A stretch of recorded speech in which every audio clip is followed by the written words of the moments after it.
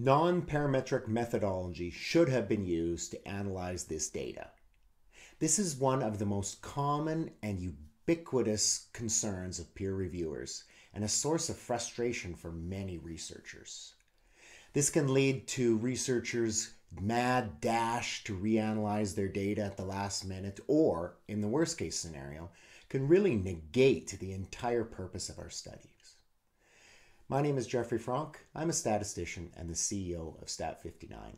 In this video, we're going to talk about non-parametric studies, how to use them, and how three simple non-parametric tests can serve almost all your needs for non-parametric methodology. First of all, why use non-parametric studies? I'm going to talk a little bit about the indications. Why would we want to use non-parametric studies? Well, non-parametric studies are used when two conditions are present. There's a small sample and their sample size, and the sample is also non-normal. What does this mean exactly? Well, the vast majority of study tests that we do, things like the t-test or ANOVA, these all assume that the sampling distribution is normal, shaped like the normal or Gaussian curve. Now you can get this in two circumstances. One is when we have big sample sizes. When we have big sample sizes, by nature, something called the central limit theorem allows us to use parametric type studies because we know even if the background data has any type of distribution, the sampling distribution will tend to be normal. The other time we can use this is when the sampling distribution of the original data is actually normal. So for instance, if we were using a small sample of people's height, we will be able to use the usual parametric studies since we know that the sampling of patient's height or people's height is of a normal distribution. So when should we use these? Well, remember that if the sample size is greater than 30, we can use the central limit theory to use our normal test, the t-test ANOVA. If, however, the sample size is small, we may want to consider non-parametric studies. We can lose some efficacy if the wrong test is used, so you may want to consult a statistician at any time to find out whether we should use non-parametric testing. And when in doubt, it's best to just use non-parametric testing. So remember, look out in your study. Are you in the case where you have a small sample size and the sample is of a population that is not known to be normal, then we should consider non-parametric studies. So I want to just, after these indications, talk a little bit about an example. And we're going to use a simple example in this video to talk about the use of non-parametric studies. So in this example, our researcher is setting up a cybersecurity training course. So in this case, what we have is we have a researcher who is devised a training course for cyber terrorism response. And she has a maximum of 18 participants. And she wants to know, does this course make the participants feel prepared. The way she's going to score this is using some Likert data. So at the end of the course, she will present this statement. I am confident that I could use the department's IT emergency procedures in the event of a cybersecurity attack and ask the participants to rate it from strongly disagree, which she is going to score with the number one, to strongly agree, which she will score with the number 5. So here we run already into some analysis problems. First of all, a single Likert response item is not guaranteed to be normally distributed. We don't know. Perhaps everyone will answer 5, perhaps everyone will answer 1. And here we see that her sample size is small. We have only 18 participants, so which is under the limit of 30. So this is a classic example of where we probably should use some non-parametric studies. So what are her options? Well, she could add a number of Likert questions together to make a scale. Well, we do know that for Likert data, if you add 15 questions and they all tend to point to the same answer. They can become normally distributed. We could change to a linear numeric scale. This is another type of scale that we know is, is usually normal. We can increase the sample size. So we know that in sample sizes greater than 30, the sampling of even Likert data will continue to be normal based on the central limit theorem, or she may elect to use nonparametric testing. So in this case, our researcher is convinced that her cybersecurity training course will work, and she wants to go ahead and use her single Likert scale response. So here we are. This is why. Why should she use non-parametric studies? Small sample size, non-normal. Now I'm going to show you that three tests can really encompass almost all the scenarios when you might want to use non-parametric studies. And what are these three tests? They're the Wilcoxon signed rank test, the Wilcoxon rank sum test, also called the Mann-Whitney test, and the Kruskal-Wallis test. And I'm going to show you that choosing these can be actually pretty easy, and it's based on your study design. Let's talk first about the Wilcoxon signed rank test. And I'm going to talk about the hypothesis test, and very, very important is the use of the paired test. So let's talk a little bit about the Wilcoxon signed rank test. So many of you have already probably been thinking that there's a number of ways that our researcher could run her course. So one way would be for the researcher here to have the 18 participants complete the training course and following the course have each of the participants complete this single one question survey. Maybe in this case, her hypothesis is the true average will be four out of five on her Likert scale. So here she's going to ask again this one question. I am confident that I could use the department's IT emergency procedures in the event of a cybersecurity attack. She's going to have the participants rate this from 1 to 5, and her hypothesis is that the average response will be 4. Here's some sample data. So let's take a look here. Here we have the data from 18 participants, and we can see that we rated them. They have rated their, their Likert scale from 1 to 5. Taking a quick look, we see that we see a lot of 5s and 4s. We see a couple 1s. So here we can use the Wilcoxon signed rank test. We have 18 values. They don't necessarily, they are not necessarily normally distributed. So let's find their median. It turns out using the Wilcoxon signed rank test, their median is 4.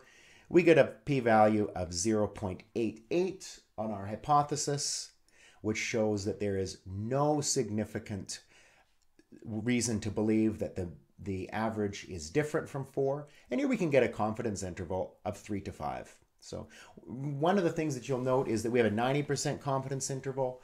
It is with uh, non-parametric studies sometimes difficult to get the exact confidence interval you want. But here we can be 90% sure that the true average on this Likert scale question is between 3 and 5.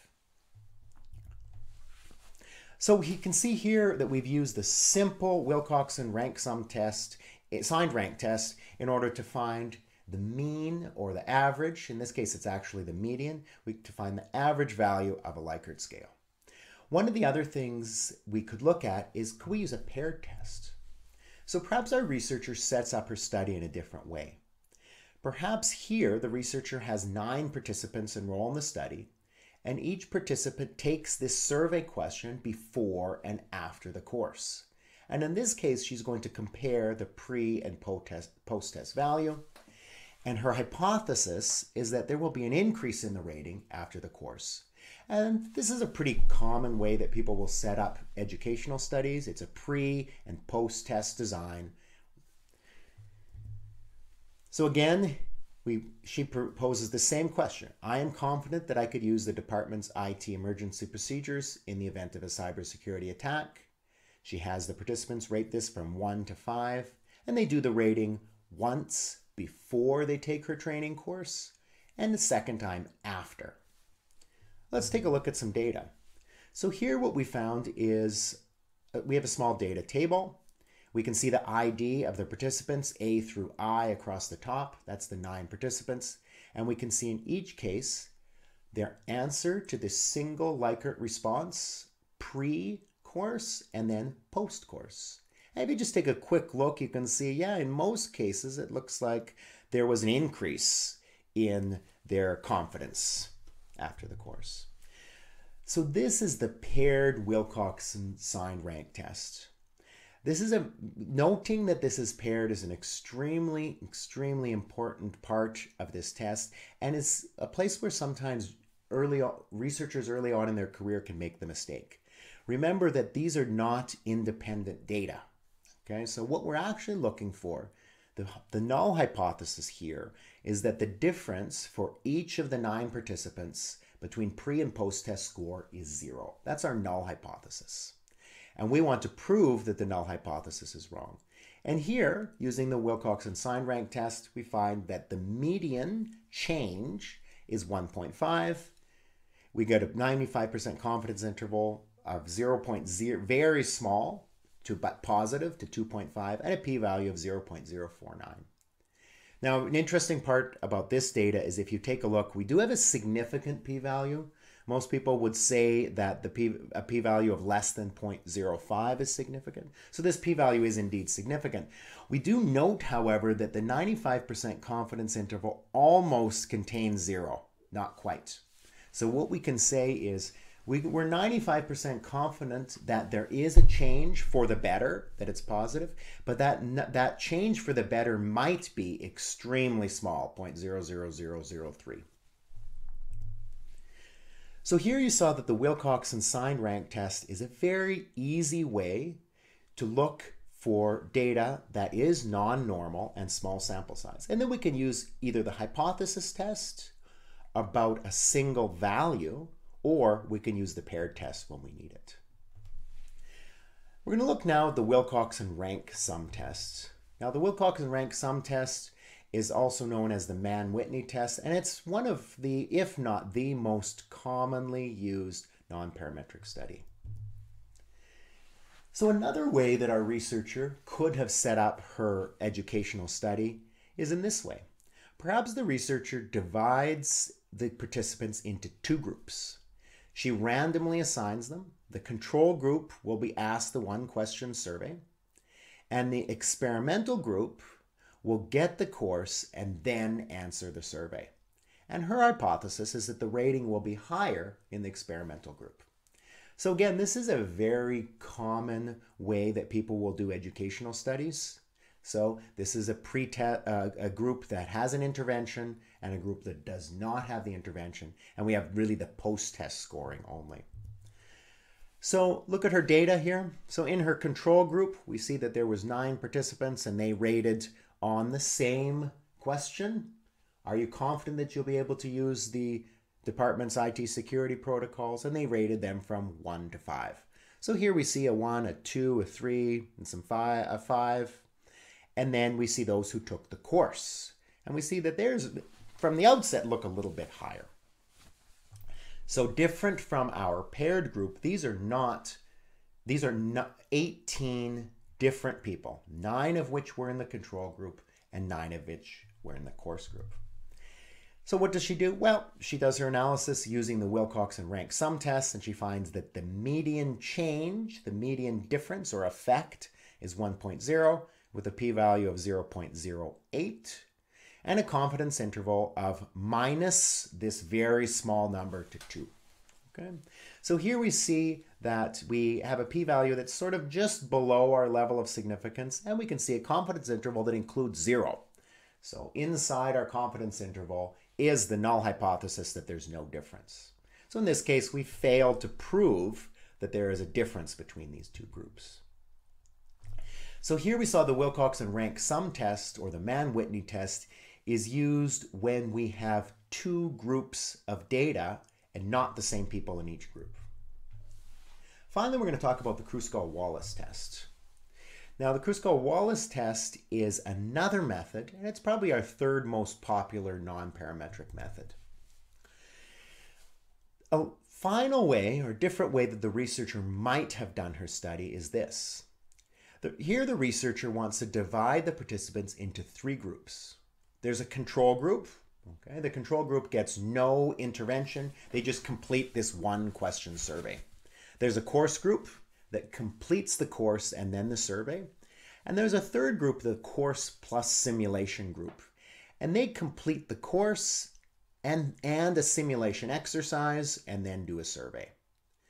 And her hypothesis is the course plus simulation group will be the most confident. And she wants to know is there a difference between these three groups?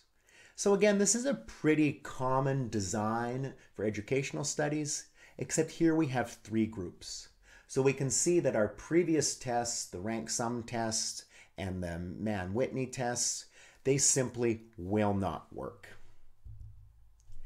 So here we have our data, and our data table looks a little bit different here. So here we have six participants in each of three groups. The control group, and we see their ratings. Course group, we see their ratings, and the course plus simulation group. And again, these are their ratings on the single Likert question of how I am confident that I would be able to use the department's IT security. Now here we get a p-value of 0.008. Now the Kruskal-Wallis test is a little bit different. It functions very, very similar to how we would use the ANOVA test for parametric data. And we get a p-value. This p small p-value says yes, there are some difference between the groups. It says that B, which group that you're in does have an effect on your the your median score on the Likert data. It does not, however, tell you which group is the best. So our researcher will have to do work through some other tests to find out which is the best. Often this involves just plotting them. We could plot these on something like a box plot and take a look at where see where the difference is. But our Kruskal-Wallis test, very similar to the ANOVA for standard data, shows that there is a difference between the three groups. So we can hear, see here that the Kruskal-Wallis test has allowed us to look at the difference between three different groups. And that's our three tests. But for, for the most part, most researchers will be able to use either the Wilcoxon sign rank test, the Wilcoxon rank sum test, or the Kruskal-Wallis test. And that should take care of almost all your non-parametric needs. So how do you put this all together? Well, in this video, we saw that using non-parametric tests really involves three separate tests. First step, do I really need a non-parametric test? And looking at that to decide. The second, the second question is choosing the right test for the study. And we saw that in this video, really nailing down that study hypothesis is the way that you decide which of those three tests to use. And finally, learning how to interpret the p-value and confidence interval for the non-parametric tests. My name is Jeffrey Frank. I'm a statistician and the CEO of Stat59. If you would like to see how the Stat59 web app can help you quickly design, analyze, and report your own research study, please join us at our website at www.stat59.com.